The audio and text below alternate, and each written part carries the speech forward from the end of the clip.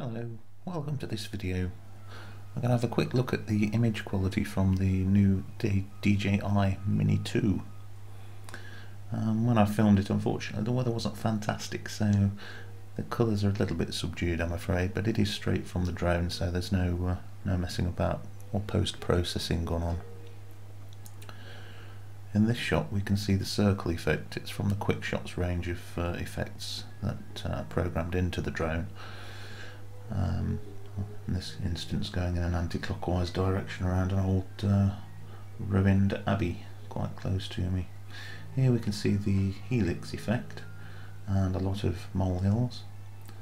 It's a wonder the bits of the abbey still standing are still standing looking at that.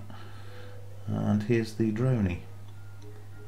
Uh, all of this was shot on automatic so um, obviously the exposure does change somewhat during the, uh, the shot. It was all shot at 25 frames per second and 4K. And here we have the rocket effect. I'm afraid this one does go on for quite a while as I took it up to 50 meters.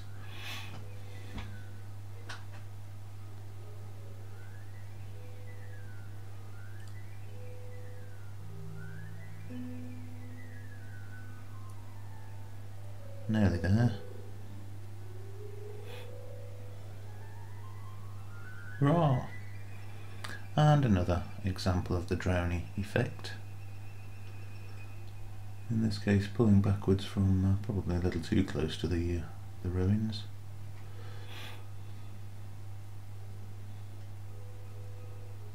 And now normal forward uh, flight, no special effect here, it's just uh, normal 4K video recorded with uh, forward manual control. I'm actually quite impressed with the uh, the image quality from the drone in terms of its uh, video performance. There's a couple of stills at the end which we can have a look at as well, which aren't too bad either. Um, nearly forgot about the lack of obstacle avoidance here, but uh, fortunately we're okay.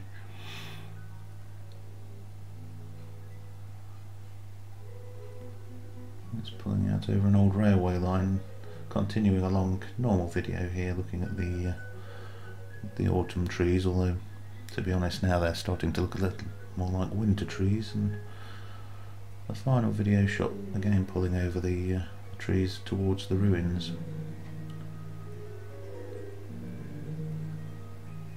The last two uh, parts of the film are stills.